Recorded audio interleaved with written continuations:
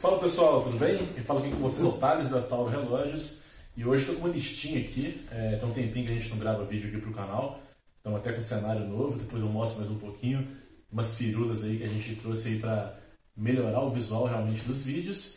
Mas isso é um assunto para um segundo momento.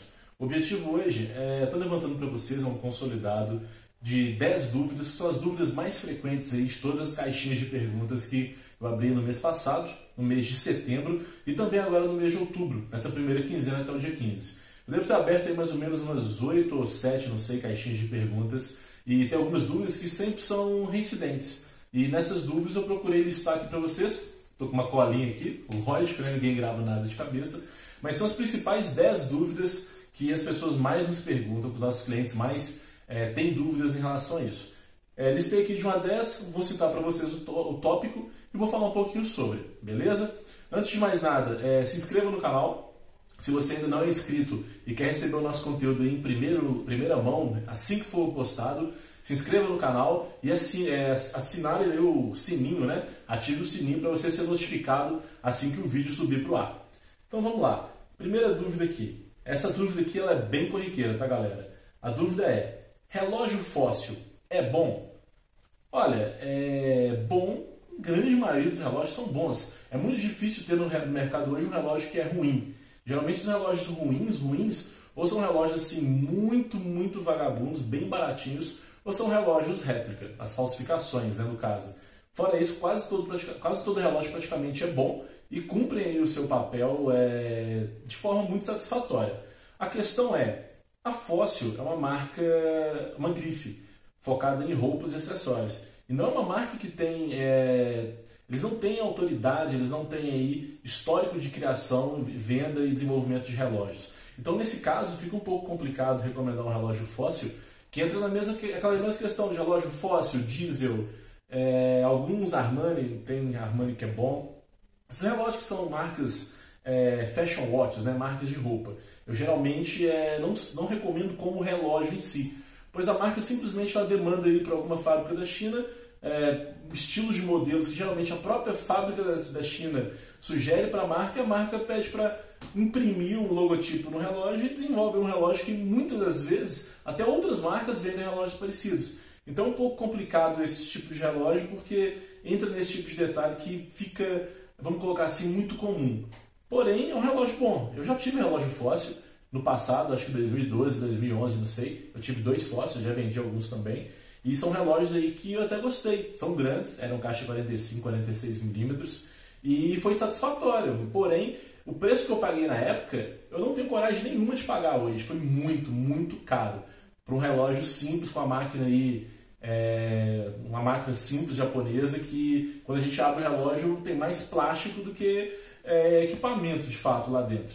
Então, esse é um dos motivos que eu faço um adendo aí para terem cuidado ao comprarem relógios aí com marcas de roupas. Sempre prefira relógios com marcas realmente que são de relógios. A segunda dúvida, essa dúvida aqui, ela é muito recorrente. Ela é o seguinte: por que vocês divulgam tanto o Cássio Duro? Vamos lá, é, para quem não conhece, Cássio Duro é um modelo, é o Cássio Marlin, o Marlin, é o Cássio Diver, é realmente um relógio feito para mergulhos, suporta mergulhos. E hoje não é o nosso relógio mais barato do site, está longe de ser o nosso relógio mais caro, porém é hoje, é, como eu posso dizer, eu recomendo como a melhor compra do nosso site, não sendo um relógio automático, vai, vale frisar. O Cássio Duro hoje é um relógio que está muito abaixo de mil reais, ele bate de frente com os relógios quartos das outras marcas, Citizen, Seiko e Oriente, que são relógios aí na casa de mil e mil trezentos reais. Então eu tenho certeza que quem comprar um Cássio Duro hoje vai estar levando para casa um diver de qualidade. Um relógio muito, muito barato em relação a tudo que ele entrega. É um relógio que ele varia e ele sempre está girando em torno de 600 a 800 reais, preço final, já com opção de parcelamento. A vista cai bastante. É um relógio que eu recomendo muito. É um relógio com caixa 44 milímetros coroa rosqueada, é um relógio que tem acabamento muito, muito bom nos ponteiros, nos trastes, é um relógio que tem um vidro bonito, a pulseira bonita. É um relógio, claro, ele é inspirado no visual Submariner, não tenho, não tenho dúvida disso, porém é um relógio hoje que é o mais vendido do nosso site. E além de ser o mais vendido do nosso site, é um relógio que ele tem a melhor avaliação no pós-vendas. Então, assim, é, é o melhor relógio do site? Não. Porém, acessível a um preço aí que dá pra gente, aquela, em questão de um, dois, três meses, geralmente, separar uma graninha no final do mês para comprar, é um relógio de entrada muito, muito bom. É, a própria venda dele, por ser a primeira, o primeiro em vendas no site, já é um indicativo do porquê que ele é bom, porque as pessoas é, avaliam os reviews, avaliam as compras, as pessoas próprias procuram no Google, no YouTube e se viram atrás de informação, além das que a gente fornece, e chegam à conclusão que é um relógio muito bom. Então, é, acredito que esse é o principal motivo. Um, por ser diver, que é o que a gente mais vende hoje, que os nossos clientes mais querem. Dois, por ter um preço baixo. E três, por ter qualidade extrema. Isso faz muita diferença. Não tenho dúvida que é um relógio que você não vai se arrepender. É, ele sempre está disponível no nosso site, geralmente na pré-venda. A prazo de entrega está dando uns 32, 33 dias. E eu tenho certeza que se você comprar, vale a pena esperar. E claro, não gostou? Devolve. A Tauro hoje ela tem, é, nós seguimos as leis do consumo. Então, se você não gostou, você tem sete dias para devolver. A questão é, desde o ano passado que a gente começou a vender o Cássio Duro, nós tivemos zero devoluções. Então é um sinal aí de que as pessoas ficam, ficam satisfeitas e também quem compra o Cássio Duro geralmente entra achando que quer gastar um pouco, é, gastar um pouco, né? Gastar um valor um pouco menor e com o tempo eles vão progredindo aí, migrando para relógios superiores, relógios aí do nível acima. Então, respondendo, por que, que eu divulgo tanto? Porque é bom. É, é o nosso maior lucro? Longe, é um lucro muito pequeno. Porém, é um lucro pequeno, mas que gera satisfação extrema. Então, por isso que a gente continua vendendo e divulgando aí sem problema nenhum. É um, um dos relógios que são os carros-chefes hoje do negócio. Dúvida número 3. É, está tendo algum atraso nas entregas? Não. É, em maio, março, perdão, quando começou a crise do coronavírus, a gente começou a ter é, impacto nas entregas. Tem até um vídeo que eu postei aqui no canal, bem lá no início do, da crise do coronavírus, falando sobre os atrasos que nós tivemos e quais eram as soluções. Seguimos o plano é, de meta, seguimos o plano estratégico, fizemos várias alterações, uma delas foi até é, boa, né? O problema é ruim, claro, ninguém acha o coronavírus bom, é péssimo, é muito ruim, porém ele nos trouxe uma pressão positiva em conseguir, conseguir uma nova forma de entrega, conseguir novas transportadoras, novos é, parceiros comerciais e a gente está batendo recorde de entrega. A gente prometia lá no passado 45 dias úteis, agora a gente está prometendo em torno de 37, mas estou tendo entrega aí entre 26 e 31 dias. Então é, a situação está melhor, se a dúvida era essa. A dúvida número 4. É, Thales, você recomenda o uso de Watchwinder Watchwinder? O que seria o Watchwinder? É aquele girador de relógio, né? Você coloca o relógio naquela máquina, liga e ele fica lá girando o seu relógio naquela caixinha em vários sentidos, né? Fazendo aí rotações e etc e tal. O objetivo dessa máquina é dar corda no relógio. Então, para quem não sabe, os relógios mecânicos automáticos, eles com o movimento do pulso, ele pega corda, ou com o movimento de andando, ou girando pela coroa, é uma forma de dar corda no relógio, geralmente no relógio automático, né? Tem alguns que não tem corda pela coroa, a maioria tem. Nesse caso, o Watchwinder, o que, que ele faz? Ele simula um movimento do braço, um movimento do corpo, durante um grande tempo, né, um longo tempo, e aí esse movimento ele vai dando corda no relógio, sem você precisar de chacoalhar ou andar com o relógio durante o dia. Então, de certa forma, o Watchwinder ele traz um conforto para o usuário, para que o usuário possa já sair de casa, do trabalho, de onde o relógio estiver, já com o relógio carregado, e não precisar ficar dando corda no relógio ou carregando durante o dia.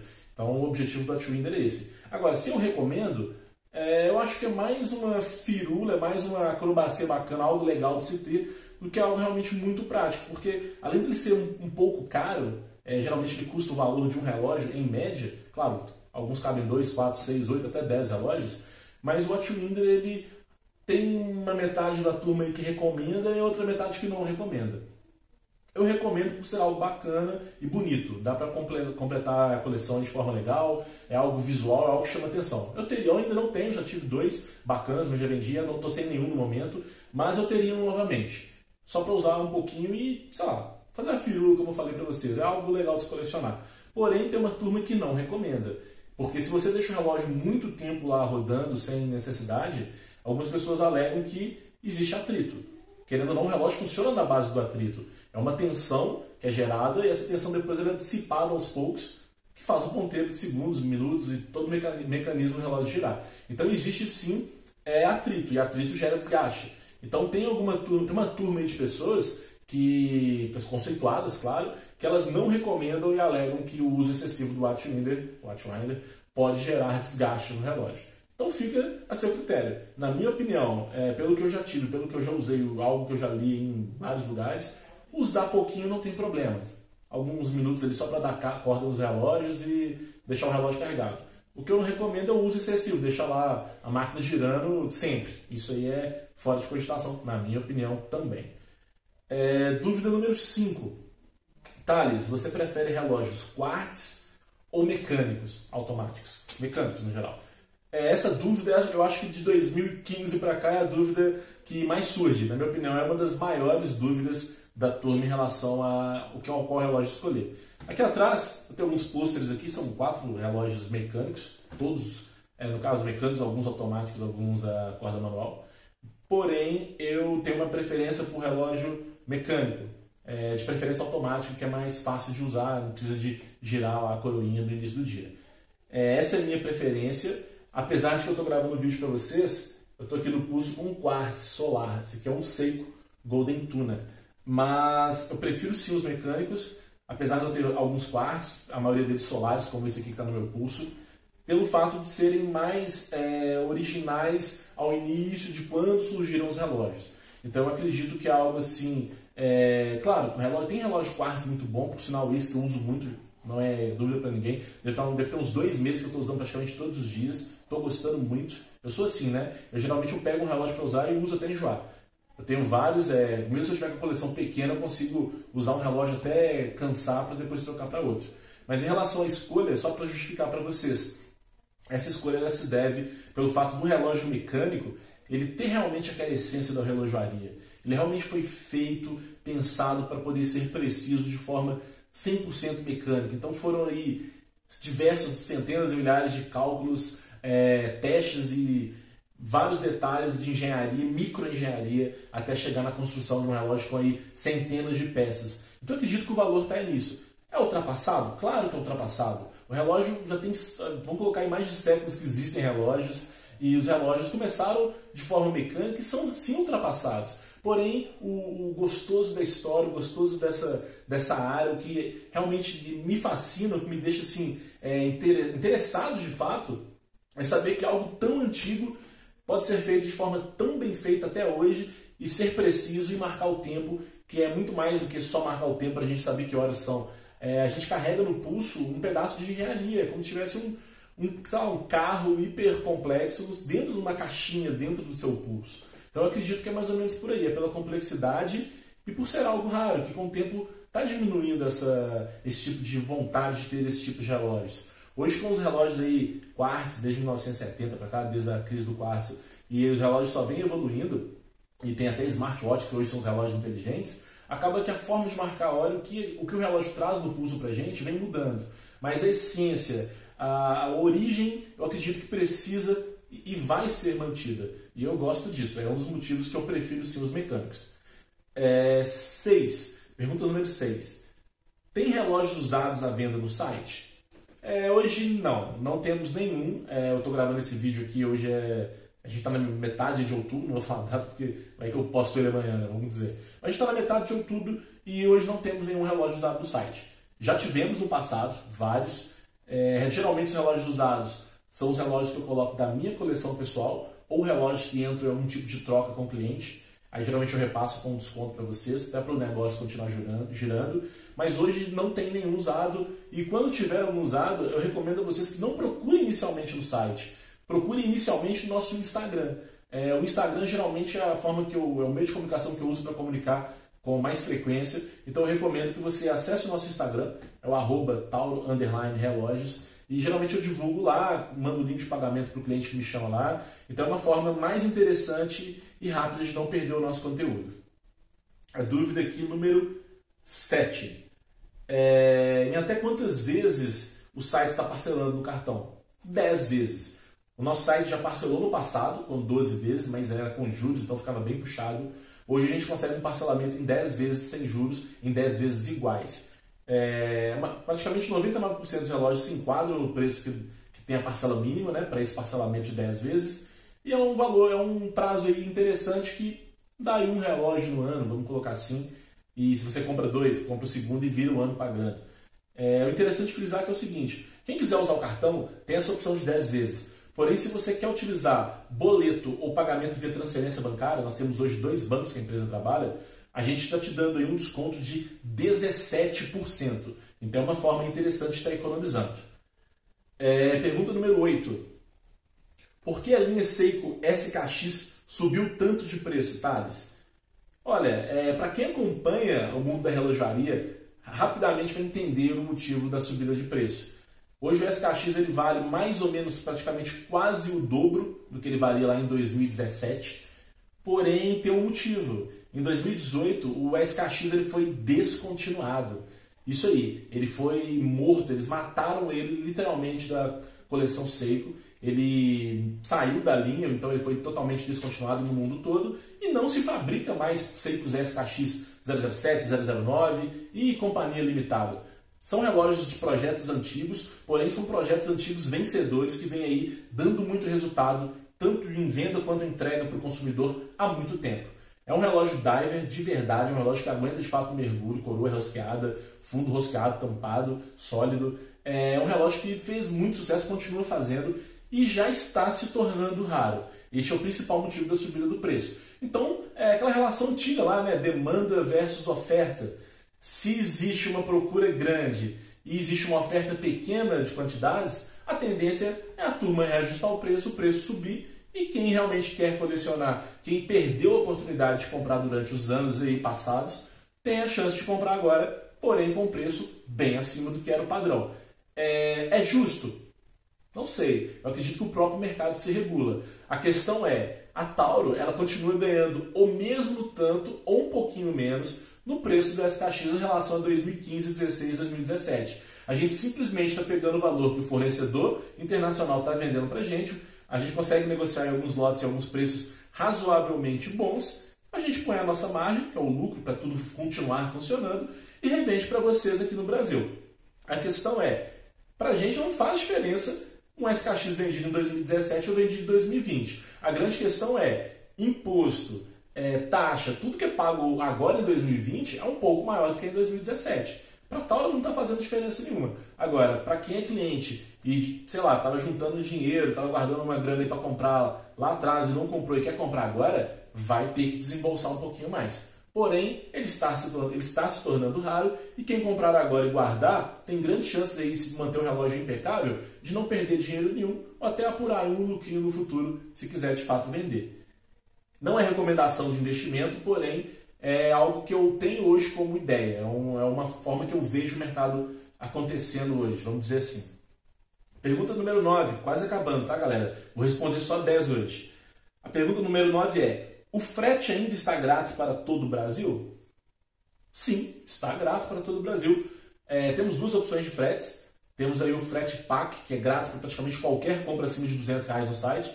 Acredito que a gente não tem produto abaixo de 200, se tiver um ou dois. Então, frete sim, grátis, com rastreamento, com seguro, com acompanhamento pelo site dos Correios, é, acompanhamento pelo WhatsApp. Quem quiser pedir ajuda aí no WhatsApp ou no chat do site, pode chamar lá que a gente passa para vocês mas continua grátis. Apesar de, é, apesar de, é, afinal de contas, vendemos produtos caros com alto valor agregado, então nada mais justo do que dar o frete cortesia. Agora, se você quiser um frete hiper rápido, que seria o SEDEX, na maior parte dos produtos é cobrado, mas a gente praticamente repassa o valor que o correio cobra. Nada mais justo do que isso. E a última pergunta, essa daqui é, é uma pergunta icônica, é uma pergunta que não tem resposta certa, porém existe preferência. É a número 10. Seiko Samurai ou Seiko Turtle? Então, galera, ah, vou colocar aqui de lado meu caderno. Então, de um lado a gente tem o Turtle com um visual mais vintage, com opção de dia da semana, além da data, e temos um relógio que, na minha opinião, é mais bem acabado na questão do tratamento do aço, a forma que o aço é polido. Do outro lado, a gente tem o Seiko Samurai, que é um relógio mais agressivo, que é um relógio um pouco maior, na minha opinião, ele veste maior no pulso, e é um relógio que tem um visual mais atual. Ambos, na minha opinião, são o mesmo relógio. Apesar do Turtle ter o calibre 4R36 e o Samurai o 4R35, a única diferença é, mecânica nos dois é a questão de um ter a data da semana e o outro não ter o dia da semana. Fora isso, são o mesmo relógio, mesma é, precisão, vão te entregar a mesma estanqueidade, tudo idêntico. Vai mudar o visual. Eu sou time Turtle. E você? Samurai ou Turtle? Comenta embaixo e se você ficou com alguma dúvida, deixa aqui seu comentário, eu vou tentar responder todo mundo e alguns links que eu vou deixar aqui para vocês. Já que a gente falou nesse, nesse, nesse vídeo sobre o Turtle e o Samurai, eu vou deixar o link dos dois nos comentários para você clicar e ver qual você prefere. E lá no início do vídeo, não sei se você lembra, eu falei também do Cássio Duro. Também estou deixando um link aqui com valor promocional. Beleza? Espero que vocês gostem. Até a próxima, galera!